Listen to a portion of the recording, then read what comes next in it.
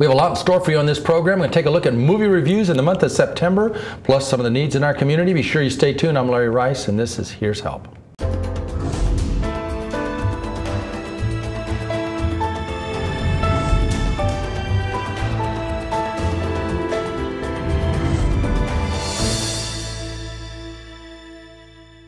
There's a lot in store for you on this particular program. Before we go into some of the dynamic needs in our community, we'd like to do a quick movie review. And joining us on that is Kamal Dockett and the Movie Man. So before any further delay takes place, let's go to that. And then we're going to come back with much more. Hey, once again, you're watching News and Views Movie Reviews. This is Kamal Dockett. I'm here with James the Movie Man. How, How you, you doing, brother? How you doing? Okay, good to see you. How was your month? My month was great. Okay. I mean, okay. getting ready for the St. Louis Black Film Festival, yes. that was the biggest thing. But again, your month, you got to see a couple of films. You saw Lucy. Yeah, I saw Lucy. That and, was one of. And what was the other film you saw? The, um, the other one was Get On Up. Um, Get On the, the James, James Brown. Brown. The okay. James Brown movie. I actually thought the James Brown movie was, was very excellent. Uh, I didn't like the back and forth in the time zones mm-hmm. because if you had to step out for 10 minutes, right. It, you might lose something. Right. But overall, I, I, I thought it was good. I didn't really know, like I was talking with my wife, I didn't know too much about James Brown, uh-huh. so I don't know how accurate Oh, it's pretty you know, accurate. the movie was. was pretty because accurate. a lot of times when you see those type of movies, right. you wondering how accurate is some of. It was it was pretty accurate, except they didn't go into all of his wives and stuff. Now you also okay. saw Lucy. What did you think of Lucy? Real I quick? thought um, Lucy, as far as from a Hollywood production, I thought it was good. But what I did not like about it was this: it was just too many like sign, religious signs and symbols, and then it was promoting just a lot of just. I know, it was a lot of stuff going on in, the, in that movie. And uh, but uh, I, you know, I, I, checked it out. I thought it was decent. Decent. You know what I'm saying? I'll put it that way. Speaking of a lot of stuff, we got a lot of stuff going on in September. Yes, yes. So, so let's get started. Okay. Uh, there's a movie coming out called The Identical uh, with Ray Liotta, Ashley Judd, Seth Green, uh, Blake Ryan. I love this name, Joe Pantoliano. Okay. Yeah, I love watching him. Uh, it's coming out. It's a drama and a musical. Oh, wow. It's going to be pretty interesting. Set in 1936 during the Great Depression. Okay. So that's going to be a very interesting movie. You heard of Dolphin Tale, right? Right. right. Well, we got Dolphin Tale too. Okay. And it's coming out with Morgan Freeman, Harry Connick Jr., mm. uh, Kris Kristofferson. That's okay. going to be interesting. Uh, Morgan very. Freeman switching it up, huh? He yeah. was in the Lucy. And yeah, now, now he's, he's in, in the Dolphin movie. okay, yeah. okay. Ashley Judson. This, this is from okay. Warner Brothers. Okay. Uh, directed by Charles Martin Smith. Of course, Dolphin Tale 2. What's it about? Dolphin. Dolphins. Definitely dolphins. And coming right behind that, this is very interesting. We got the Equalizer coming out based okay. on the TV show. And it's going to be Denzel Washington who's the equalizer. Okay. Well, I think it's very interesting is Universal Pictures said, you know what, we're going to rival that. So they came up with a movie called A Walk Among the Tombstones. same plot, same really? everything with Liam Neeson's in it, Dan Oh, Stevens. but Liam Neeson is He's pretty- good, yeah. You know, he says, I don't know who you are, I don't know where you are, but I will find you. Now, who is in that once again? Uh, that's Liam Neeson, Dan Stevens, David Harbour, Boyd Holbrook, and it's a thriller, and it's basically the same movie as Equalizer. Hmm. You know, so let's get back to the Equalizer. That's Denzel Washington's in that movie. And of course, you know what that's about. He's the Equalizer. Oh yes, yes. He, he was. Now, I didn't. Now I didn't watch. Now when was the Equalizer initially on? Uh, I think it was on back in the 70s. Oh, was it? Yeah, Okay. early 70s, late 80s. Okay. Or early 80s. Uh, that's shame. That's telling people how old I am Oh, wow. and how young you Now, are. who, now, right now, who's now who was now? I did because I didn't know. Many people out there might not know Mm-hmm. that that's going to be a remake. And actually, a remake of a TV show called The Equalizer. Okay, so that'd Definitely. be interesting. That's going to be very interesting. Right. You know, another fun movie that's coming out is a movie called The Maze Runner from 20th Century Fox. Uh, Dylan O'Brien, uh, Amy Amon, Thomas Brodie-Sangster. Uh, it's an action adventure thriller. It's rated PG-13. Okay. And it's basically these kids are like kidnapped. All of a sudden, they're in this field and they got to go through this maze to get out. Now, one is that something like Blade Runner that I with Arnold Schwarzenegger back tw- about 25 years ago. They would put him in this maze. Well, that was had- actually The Running Man. the Running Man. That's Yeah, what it it's was. yeah. That's what it was. this is a little bit more different Oh, and a much Okay. younger crowd. Yeah, definitely. Okay. Of course, we got this other movie coming out that's actually going to be featured in the St. Louis Black Film Festival called No Good Deed from Okay, Screen Gems okay. with Taraji P. Henson. Let me say it right. Idris Elba. Uh, and it's a thriller. And this one, Idris is not the good guy. Mm, y'all seen the preview. Yeah, he's the bad like guy. he's a little bit of a bad boy. So ladies, watch out for that one. You know, so you, he went from Mandela. yeah, no good deed. That's huh? right, definitely. Another one from uh, Studio A24 is Tusk with Kevin Smith. Uh, written by Kevin Smith. He's also in it along with Michael Parks and Justin Long. Mm-hmm. Uh, and it's a little bit of a sci fi horror thriller. Oh, really? Yeah. Uh, and it's actually about walruses. Oh, really? Yeah, we got Dolphins and Walruses and Equalizers in this month. So you got to watch out for that. And I can't wait for uh, Oscar season. That's going to be interesting. Yes, yes. So speaking of Dolphins and Walruses, there's another movie coming out called The Boxtrolls. The Boxtrolls. The Boxtrolls. So that's that actual animal or a species? Actually, just like you have a cardboard box. Oh, really? There's trolls living in a cardboard. Oh, so they actually yeah. homeless people? Uh, not quite. Right. not quite. not quite. It's an animated movie. Okay. It's from Focus Features. Uh, the voices of Ben Kingsley, Elle Fanning, Dee Bradley Baker, Steve Byrne, and Simon Pegg. It's, okay. an, it's an adventure and fantasy and it's animated. So it's like a, a uh, kids movie that you can take the kids. Oh, most friendly. definitely. Okay. PG, it's rated PG. Okay. And you can definitely go see it. The Boxtrolls is a community of quirky, mischievous creatures who have lovingly raised an orphan human boy named Eggs. Oh, wow. Sounds like somebody I know. Sounds exciting. It sounds like very interesting. Oh, really? Yeah. of course, we talked about The Equalizer. Those uh-huh. are the movies that are coming out this month. I want to give you a quick uh, overview on some of the movies that are taking place uh, this month. And in addition to that, not only want to think about recreation, but also ways that we can make a big difference. There are so many people having their electricity shut off this time. It's almost like an epidemic of electric shutoffs. Our phones are ringing off the hook. Our needy fund is depleted. We want to help all of these individuals. We need a financial miracle at this time here at the New Life Evangelistic Center. Uh, so many people having their electricity shut off right and left. We already take uh, 10% of all gifts that come, five go into our missions fund, five into our needy fund, uh, but the, the need is just so much greater than that. So I'm asking you to believe God with us for a financial miracle. Now, if you'd like to share a special gift and you want to go into the Needy Fund, the New Life Evangelistic Center, just write Needy Fund, the lower left-hand corner of your check, or Homeless Shelter Fund, or where need it most.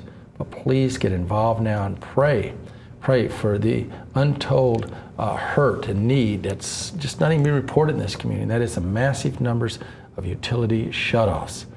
I want to also encourage all of you to consider perhaps moving to solar. The price of solar panels are going down while the electric cost keeps going up. For further information, go to www.moreenergy.org or stay tuned at channel 24.2 or go to www.americanrenewableenergy.org. Uh, just to give you an idea of some of the people that they're having their electricity shut off and also what kind of serious problems that presents at this particular time, I would like to go to Kiwana. I'm talking with Kiwana, and you, you called me earlier today and explaining that the, your electricity was shut off. Tell us about that. Well, I came home from school and it was cut off. It, they came and cut it off. Said I couldn't. Um, I was making payment pay, payment arrangements with them, but I couldn't afford that much because I'm unemployed, and so I was making payment arrangements, and they said I wasn't giving them enough, so they had to come and t- turn it off. So you're going to school. You're trying to improve your situation. I imagine. Yes. What are you studying? Nursing. I go to nursing school. How far along are you in that? I'll be done in like six months. and you don't live alone. You have children, don't you? Have um, three children, eight, six, and nine months. And they, I have two of them have medical needs, so it's very important that I get my electric back on. What what type of medic, what type of uh, electrical equipment do they do they require? My daughter, she has asthma, so she uses a um, breathing machine and without that, you know, she can have an asthma attack, and I don't have any way to get help for her unless I call 911. She has an inhaler, but that doesn't really do much work because it's real severe asthma. And uh, of course, your food now is not refrigerated. The refrigerator yeah, doesn't I, work. I had just went to the grocery store and I had a freezer full of food, and all of it's unthawing, and I'm just, you know, in need to get it back on before the kids get out of school so that I can feed them dinner and so, stuff. So this sounds like you weren't even expecting that to happen. No, not at all. Did you try to get any help from any other sources to try to get help uh, to keep your electric on? or- I tried to get help from different, um, a number of different agencies, maybe 15 to be exact, but they all said they didn't have any funding because everybody's, you know, electric and stuff is cut off right now, and you know they didn't have any extra funding for anybody. They told me to call back in a month, but I can't call back in a month. You know, I need help now. So you're hoping to try to get back on today. Yeah. Well, we're going to contact Ameren for you right away and see what we can do to help you to get it back on. Okay, thanks. I appreciate it. Yes, we're seeing an epidemic of utility shutoffs. So many people having their electric shut off at this time. So please pray for the needy fund of the New Life Evangelistic Center. Uh, we want to help the individuals. In order to do that, we're going to need a financial miracle. Let's believe God for such. Russ is joining me at this particular time. And Russ, you want to get in the transitional housing program here at New Life Evangelistic Center. Why do you want to do that? Uh, right now, I've been uh, on a waiting list for an apartment for quite a while, and you know, uh, to ha- the only kind of stable living you can really have is to, you know, maybe uh, get you a, a hotel or something, and it's not really stable. It's kind of uh, sapping my funds to a point that I, you know, I'm fourth on the list. I'm ready to go. It's it's a great house, a great apartment in in my hometown and I'm, I'm trying to hang on and do exactly that transition into stable living. Where's your hometown? Granite City, Illinois. And uh, there was no shelter in Granite City. There's no stay at? shelter in Granite City. So you came to New Life Evangelistic Center at this time. How Right. important is it to you that not only get shelter, but you get in the transitional housing program? Oh, it's it's important. Not only even uh, for that, you know, the transitional is exactly that. What I'm doing is transitioning into stable, and uh, but uh, you know, being on disability, I've uh, you know, I'm I, I've just got nothing to do, and it's you know, I could I have a choice. I could I could, could probably went to Alton, Salvation Army. But you know they there's nothing you know you can volunteer there. There's really nothing to do.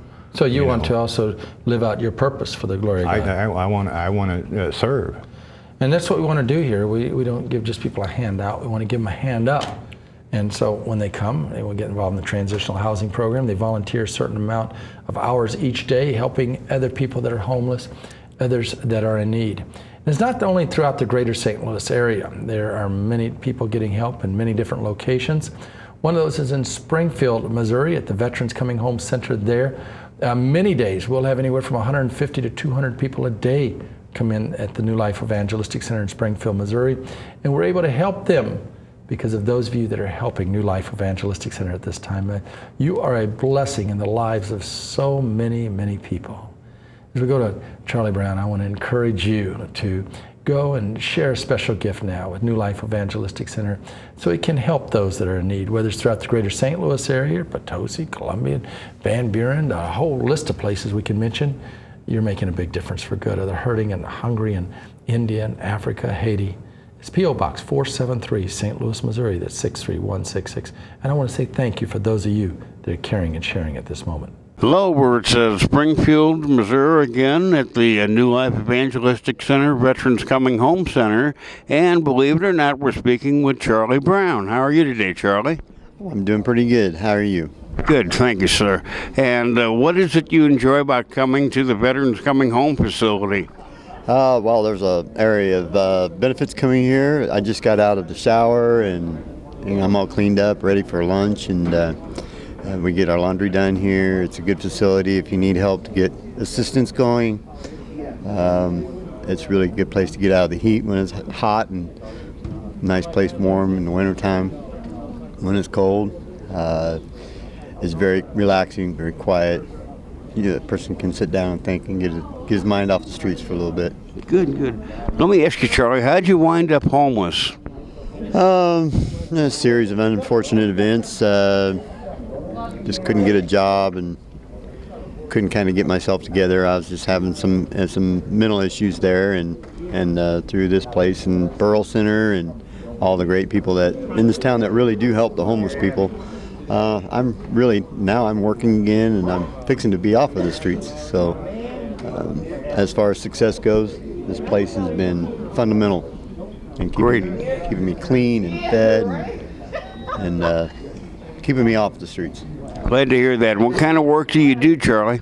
I uh, clean the uh, buildings and stuff at nighttime. So, Oh, okay. Industrial engineer work. That's Yeah. good. It's good. and it's great.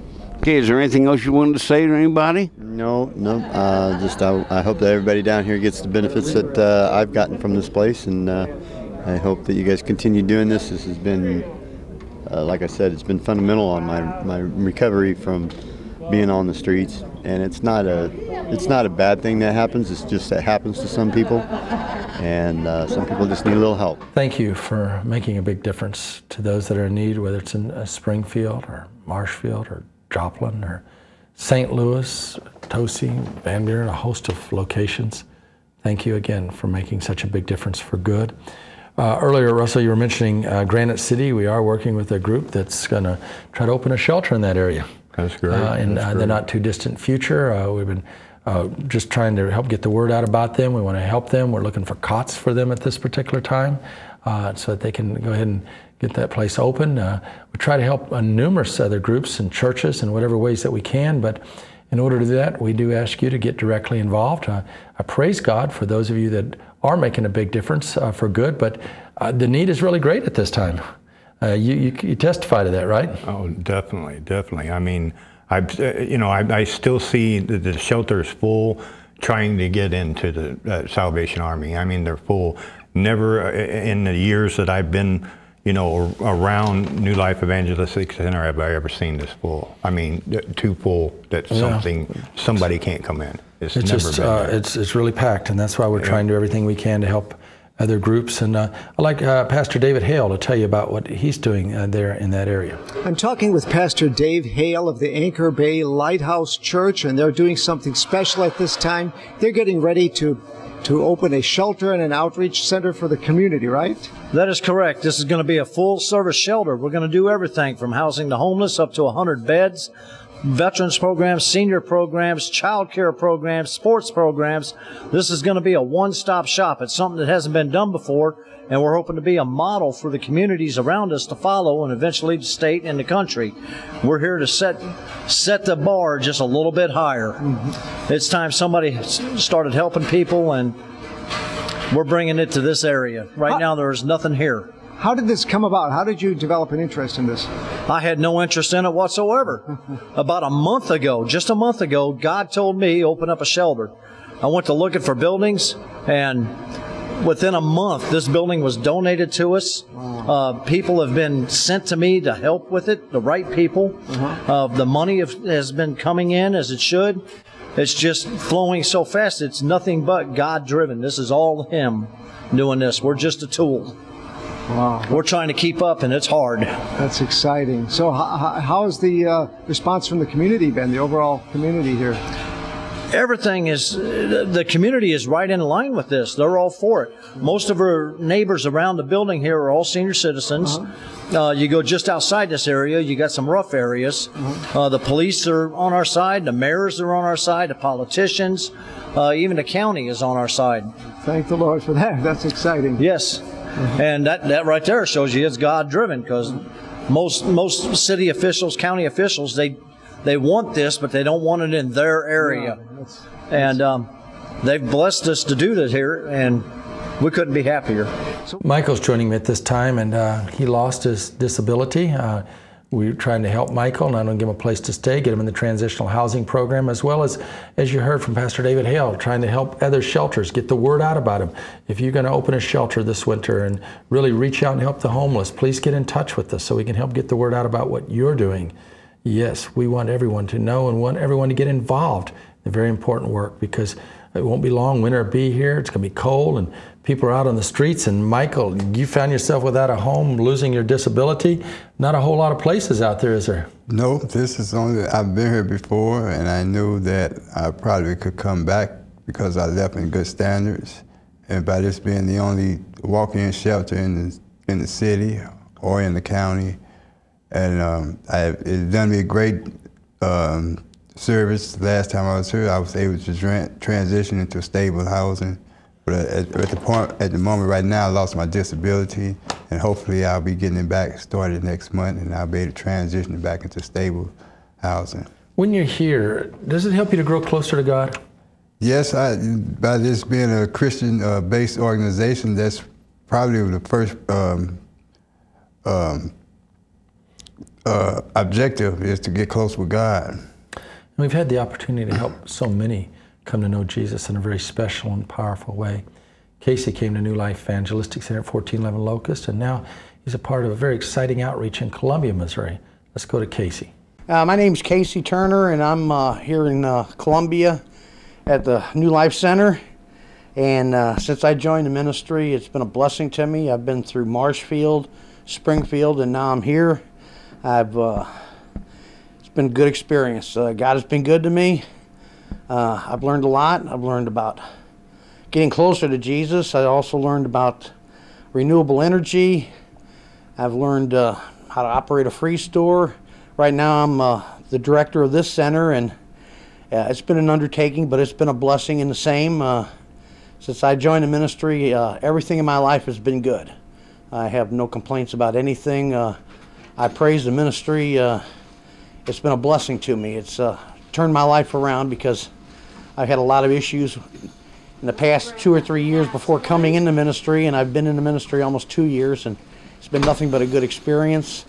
Um, I've learned a lot about renewable energy, uh, how to take care of animals, uh, and a lot about dealing with people in general. Uh, sometimes I might not deal with them perfectly, but I do the best I can with my abilities, and uh, can't say I'm perfect, but uh, I do the best I can. Uh, we also here in Columbia we have a men's shelter upstairs, and uh, we got it. Uh, we've been keeping it running, and we have the free store here. Everything's free, and uh, we do we do what we can to help everybody out. It's exciting to see people growing in the Lord. Casey's a testimony. Uh, Corey uh, Gore, we'll hear from him in just a moment here, but I'm with Michael at this moment, and Michael, you were indicating that as you are new life, not only are you getting a place to stay and food to eat, an opportunity for you to transition into a place, but it's helping you to grow in your faith? Yes, uh, we have have Bible study, uh, have a, a, church on Fridays, have mm-hmm. communion on, on Wednesday. Yeah, it gives me a great opportunity to get closer with God. And that is our goal. That individuals will not only have their physical needs met, mental needs, but spiritual needs. They'll have an opportunity to grow in Jesus, an opportunity to experience His life, His love, His power, His presence, His goodness, His grace. And it's so exciting to see that transformation take place in the lives of so many individuals. Individuals like Corey came to us as a young man, just totally burned out on all the stuff that he was taking out there. Now he's been set free, cleaned up in Jesus, and reaching out through the love of Christ in Van Buren, Missouri. Hi, uh, I'm Corey Gore, and I'm here at New Life Evangelistic Center in Van Buren, Missouri. I've been here for about a year and a half now, and uh, I am an assistant uh, radio operator and also uh, a proprietor of the Free Store. So uh, every every other week, I, I, get a chance to, to run the radio, and, and, and, and it's been a blast so far.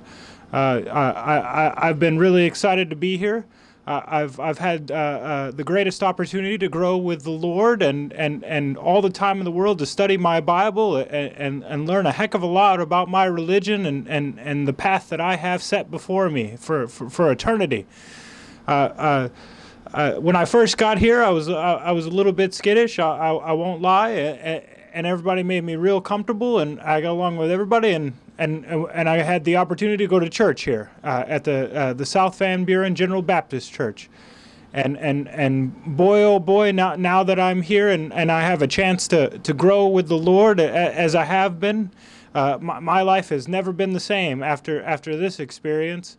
And, and, and, and God has really, really made a huge difference in, in the way that I view the world and the way that I feel. And, and his presence in my life and and you know he talks to me he talks to me uh, daily and and and when i don't hear him one day i know he's he's preparing me for something and and and i am excited to to to see what god has for me specifically and and uh, um, other than that, uh, it, has been a it's been a really great place. I also cook on Bible studies. We have a Bible study every Wednesday, and uh, uh every other Wednesday I get a chance to, to be the chef. Other than that, Chris, Christopher is the chef. What an impact your prayers and gifts are having at the New Life Evangelistic Center. If you've not yet become a Club 24 member, I want to encourage you to do that now. It's only 80 cents a day, $24 a month. And Michael, uh, you came to New Life. You said you're growing in the Lord Jesus. Yes, sir. It's important everyone prays that 1411 Locust keeps sheltering individuals, doesn't it? I mean, here they have that hearing October 21st when they're going to be making a decision concerning our hotel permit. And if we get an adverse decision, we got to go on and appeal it to the federal courts, but we can't give up, can we? No, can never give up. As a matter of fact, yesterday I was at the hospital um, because of my illness. Mm-hmm. And uh, they told me they didn't have no beds. And what they ended up doing, they gave me a bus ticket to come down to Larry Rice.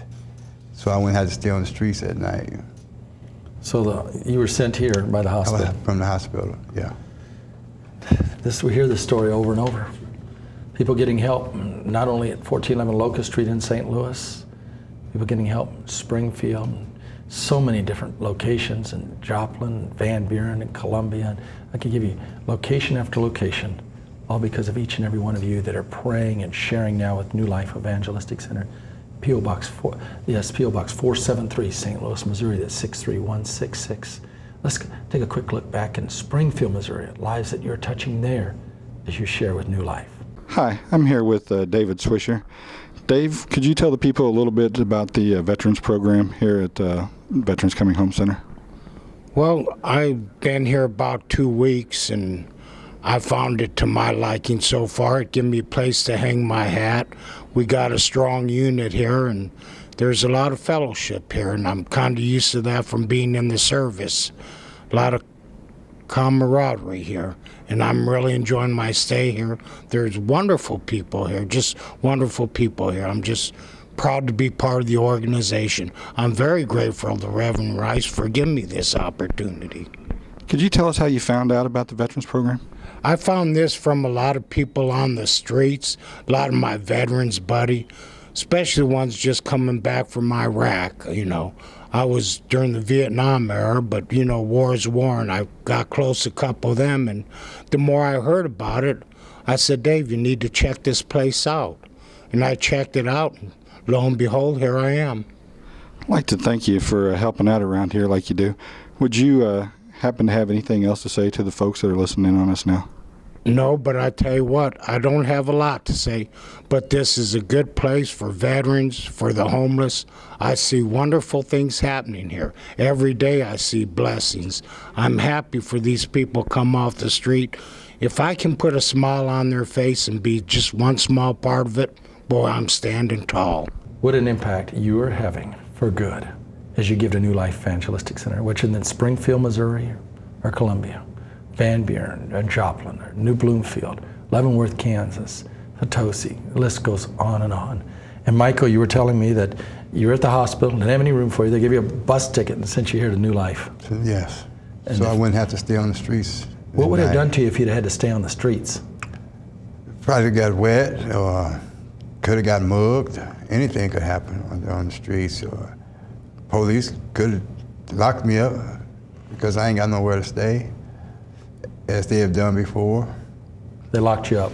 Yeah, they locked me up, and it was. Uh, I had been to the to the to the hearings at the city hall, Yeah. and it was amazing how I wasn't surprised, but it was amazing how they badgered uh, your staff. It made me want to just holler out and, and let them know that New Life is, is not a bad place. It's, it's a good place, and that you can't be responsible for people that's on the streets. Except we can give them a place to stay, and that's what we want to continue to keep on doing, is to give them a place, give them an alternative, so that they don't get so desperate out on the streets that they engage in suicide by cop or just get totally erratic through sleep deprivation where they're locked up. There has to be a better way. And we're seeing lives changed, people transformed through the grace and power of our Lord Jesus Christ. No matter that, no, it's no surprise the devil is so mad because lives are being changed. And people who would otherwise be in hopeless, desperate situations now have alternatives because of each and every one of you that are praying and caring and sharing. You can give online at www.newlifeevangelisticcenter.org with your credit cards, or you can share that much needed special gift now with New Life Evangelistic Center, P.O. Box 473, St. Louis, Missouri. That's 63166. Thank you for caring, sharing, and praying at this critical moment.